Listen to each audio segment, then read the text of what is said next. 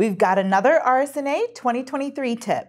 This time we're talking about how to watch sessions virtually.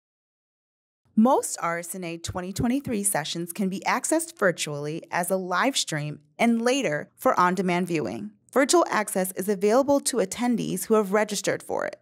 You can add virtual access to your registration online at Meeting Central select Manage Registrations add-on. If you registered for virtual access, the best way to watch sessions is online at Meeting Central. You can also find virtual access through the Meeting app under the Explore section. To watch sessions on Meeting Central, once logged in, select Program in the top navigation.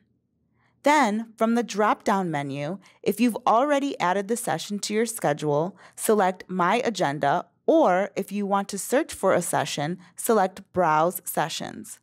When browsing, you can use the search tool and apply any of the filters on the left side of the screen to quickly find a session. Once you've found the session you want to watch, click the View Session button listed under Session Details. If a session is not available virtually, it will not have the View Session button. When live streaming a session, you'll be able to enter five minutes before it starts. After the live stream, the session will be available for on demand viewing within 24 hours. After the meeting, all the virtual sessions will be available until April 30th, 2024. That's all for now. Enjoy RSNA 2023.